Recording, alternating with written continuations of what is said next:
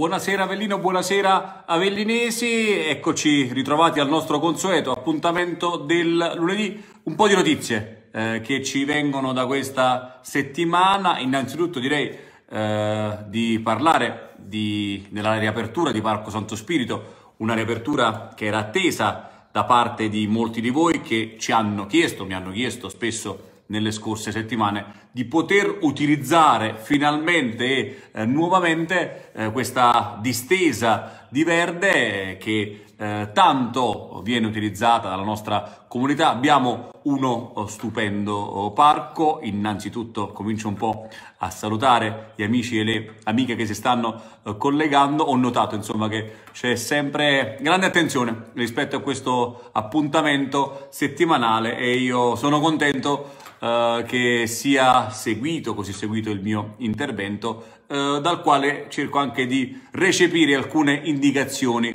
che voi puntualmente mi fornite. Dicevo, rispetto alla questione Parco Santo Spirito, eh, c'era, parliamo di una riapertura attesa, c'era eh, anche la voglia finalmente di tornare a fare delle stupende passeggiate eh, lungo eh, il parco, finalmente l'abbiamo un po' sistemato, chiaramente lo dico a quelli che hanno subito segnalato qualche disguido, è evidente che non è eh, tutto a posto al 100%. E per carità, abbiamo rimesso a posto comunque circa 120.000 metri quadrati di verde, un numero impressionante, per fortuna eh, di verde urbano. Abbiamo messo in sicurezza una sponda dopo che c'era stato uno smottamento e attendiamo ancora 500.000 eh, euro per ultimare l'intervento eh, che abbiamo iniziato e che ci consentirà di mettere in sicurezza la sponda fino all'altezza del ponte. Abbiamo già organizzato i lavori per illuminare il ponte, sarà bellissimo.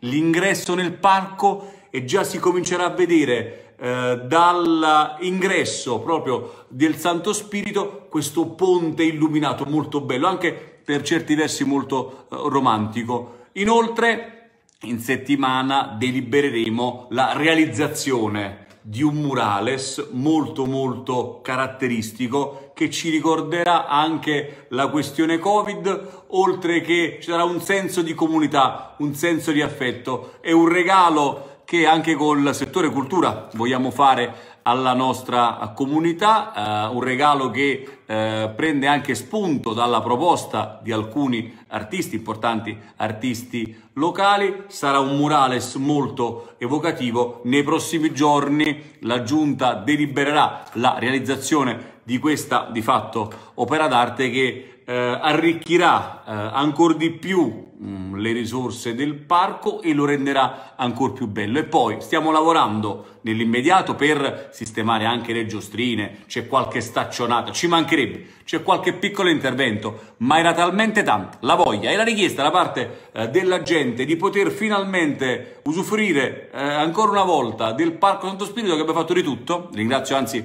per il grande impegno, gli assessori Negrone Genovese in particolar modo, ma anche Giacobbe si è dato molto da fare e poi stiamo lavorando in prospettiva perché vogliamo che il Parco Santo Spirito diventi un vero e proprio attrattore turistico. Diventeremo riferimento turistico in Campania. Non sto scherzando, guardate, non sto esagerando. Abbiamo una grandissima risorsa. Io non voglio solo limitarne l'utilizzo alla nostra comunità o, o ai nostri cugini dei comuni vicini.